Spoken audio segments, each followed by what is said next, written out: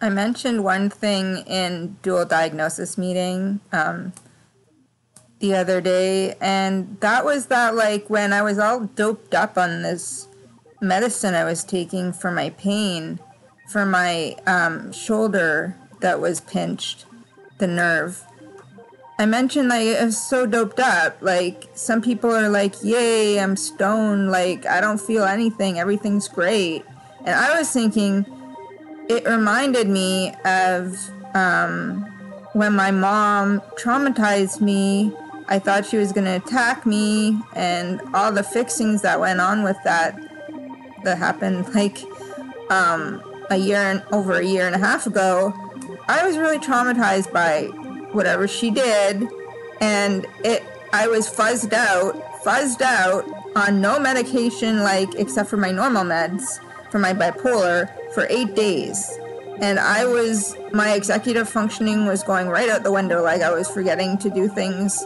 Like I forgot to medicate my cat, and then she got sick, and I took her to the vet, and I couldn't figure out what was wrong. And then I realized, like a few days later, oh, like because I Dosette on my cat's meds.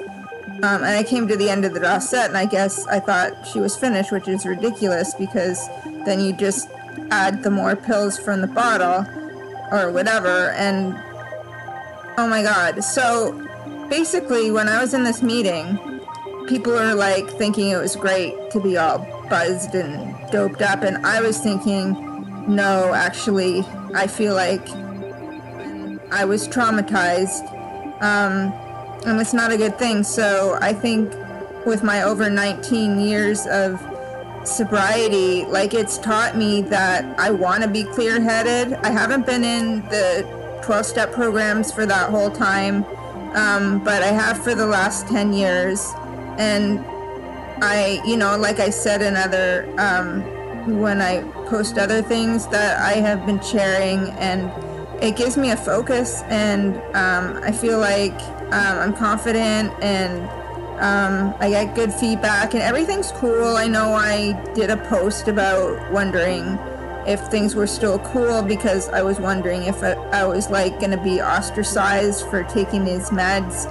But like everything's cool. Like I don't even want those meds. Um, I still have like my arm is like um, numb and tingly, but it's not paining me. So at night, like last night was one of the best nights. I even threw out the pills that I had taken the um, muscle relaxants because I was like, I don't want to be in pain and say, oh, I'm going to take these and then feel like drugged for the next 24 hours because I took like one dose. Um, so everything's going really good. Like I, I was wondering if things were going to start to downslide and go bad, but they didn't really. Um, I think I have a good program and um, I think I think I'm happy.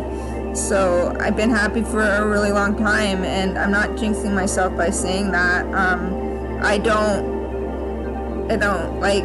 Um, I try and eat healthy. Um, it's weird because when I get like feelings of depression or sadness, I don't feel like it's always a choice either. Like I'm looking, um, I'm using my sad lamp now um, because. because the sun's not out and I feel really tired today, really. So I do feel tired today and so I don't feel as happy. Um, but I am happy. It's just that I just feel tired. And um, the cats let me sleep in an extra hour because I was chairing till 11 and my bedtime is like 10. So I was like in bed at like 12:30. Um, and yeah, so yeah, I just wanted to say like the switch of perspectives is really amazing because I don't want the meds anymore. I don't want to be doped up anymore. So here it is, my sad lamp. I didn't show it to you properly.